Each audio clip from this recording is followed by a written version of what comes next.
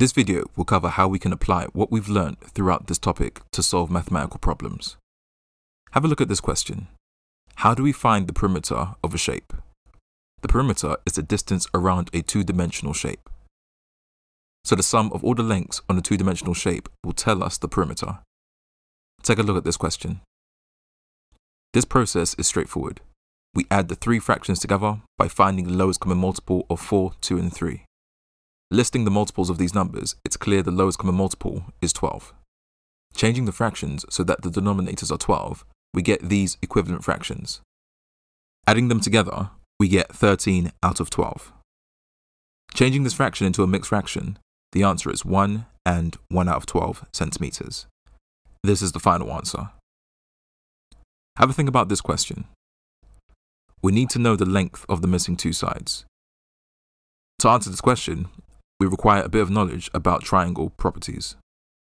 What type of triangle is this? This is an equilateral triangle. We know this as there are three dashes. All the lengths have a dash. What does this tell us about the lengths on an equilateral triangle? All three of the lengths on the equilateral triangle are the same.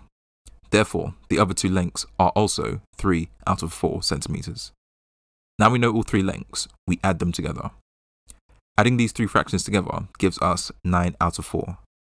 This can be changed into a mixed fraction of 2 and 1 quarter centimeters. That is the final answer. Let's have a think about this question. How do we find the missing length? We first have to identify what shape we have. This shape is an isosceles triangle. We know this as we have two dashes indicating these are equal to each other. So this length is 2 thirds also.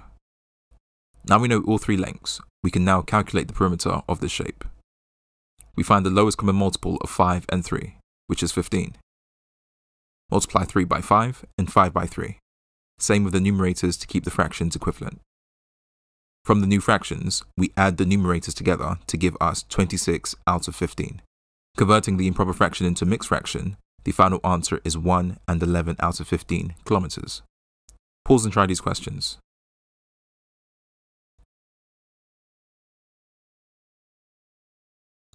Here are the answers. Have a think about this question. We need to find the perimeter, but we're not given all the lengths. How can we find the lengths? What is the name of the shape? This is a square. The reason we know this is a square because of the dashes. The dashes tell us what lengths are the same. All four lengths are 4 out of 7 centimeters. Adding these four fractions together, we get 16 out of 7. Changing this fraction into a mixed fraction, we get 2 and 2 out of 7 meters. How about this question? The shape is a rectangle. The special feature of a rectangle is that the opposite lengths on a rectangle are equal. Now we have four fractions. We can add them together. As always, we find the lowest common multiple of 4 and 6, which is 12 multiply 6 by 2 and 4 by 3. We apply the same to the numerators. With the new fractions, we add the numerators. This equals to 22 out of 12. We could simplify this fraction by dividing the numerator and denominator by 2, which gives us 11 out of 6.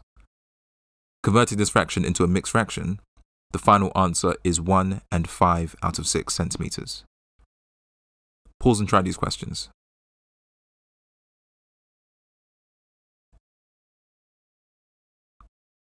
Here are the answers.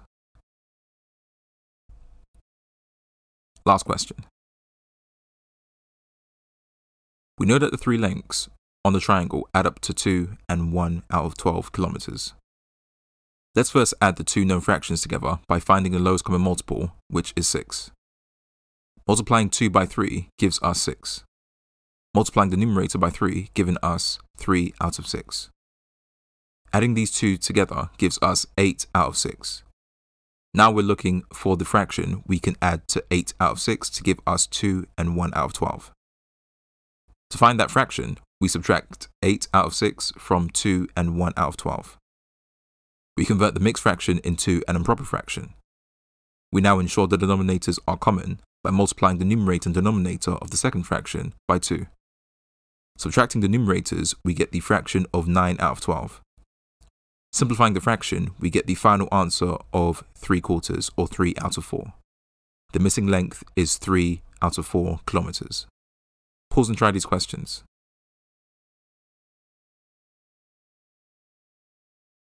Here are the answers.